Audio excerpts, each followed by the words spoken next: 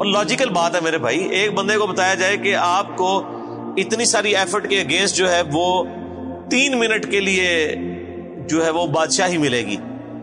और दूसरे को बताया जाए कि आपको इतनी ही एफर्ट के अगेंस्ट हमेशा की बादशाहत मिलेगी। जिसमें मौत भी नहीं आएगी, जिसमें जवाल भी नहीं होगा, जिसमें बुढ़ापा भी नहीं आएगा, जिसमें बीमारी भी नहीं आएगी।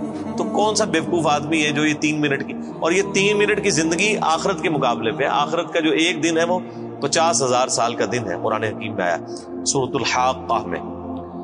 तो आखिरत का जो एक दिन है, उसके मुकाबले पे साठ साल की ज़िंदगी तीन मिनट बनती है ऑलमोस्ट अभी आखिरत के बाद जो जन्नत और दोजा का फैसला होने वाला है, वो तो सही मुस्लिम में हदीस है कि कोई शख्स समुंदर में उंगली डुबोए, समुंदर में जो उंगली डुबोने से उसकी उंगली पे पानी लगता है, वो दुनिया की ज़िंदगी है और समुन्द्र आखरत की ज़िंदगी। इन्फिनिट लाइफ तो असल में कामयाब वो है जो वहाँ पर कामयाब हो गया। असल अकलमंद वही है।